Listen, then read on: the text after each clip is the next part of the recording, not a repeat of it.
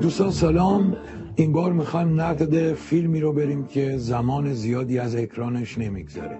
فیلم سیرک انتخابات آخرین ساخته سید علی خامنه این فیلم اصلا فیلم بدی نبود. فیلم خیلی بدی بود. فاجعه بود.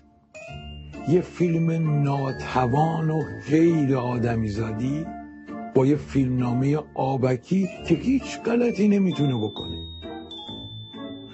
مهمترین گیر فیلم فیلمنامشه فیلمنامه نویس کیه؟ خود کارگردان طرف پرت اصلا. بابا ملت اومدن تو خیابون دخل تو آوردن. تو با ساچمو گوله افتادی به جونشون. بعد دم انتخابات تو اومدی به همونو میگی بیاید رأی بدید شوخی می‌کنی. از فیلمنامه که بگذاریم می‌رسیم به شخصیت پردازی. شخصیت پردازی افتضاحه. تو اصلا کاراکتری برای فیلمت نذاشتی. همه رو رد صلاحیت کردی. چهار تا تیپ مقوایی چهار تا بسیجه کیفکش جوجه طلبه آوردی. می‌خوای باش مجلس درست کنی؟ مثلا کیه؟ امیر حسین ثابتی. فقط یه لب و دهن بدون ذره ای حس. هیچ چی دیگه نیست. دوربینت هم لحن درستی نداره. فقط یه دوربین شلخته است با میزانسنای پرت و پلا. نمایش عروسکی رو آورده تو حوزه رایگیری خواننده رو آورده تو مسجد. یه مش بچه چیره جلو دوربین مگه مهد کودک می‌خوای نشون بدی شوخی می‌کنی؟ مزخرفات چیه؟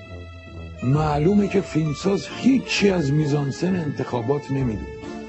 بعد اسم خودتو گذاشتی ولی امر سینمای جهان. این فاجعه است. از اول تا آخر فیلم جرأت نکرد یه لانگ شات به ما بدی. معلومه که میترسی. چون لانگ شاتو که بدی حوزه های خالی معلوم میشه ریزش ها معلوم میشه بدبختی ها معلوم میشه. از اول تا آخر هی کلوزاپ اونم کلوزاپ کی؟ جنتی رئیسی. یه برگه رأی نمی‌تونه بندازه تو صندوق. ورق صندوق. اینو نمی‌تونه در بیاره. هی جلو عقب می‌کنه انگار داره آتاری بازی می‌کنه. این فاجعه است. یعنی من میگم واقعا یه فیلم فارسی جلومه. من بیشتر اصلا حال ندارم.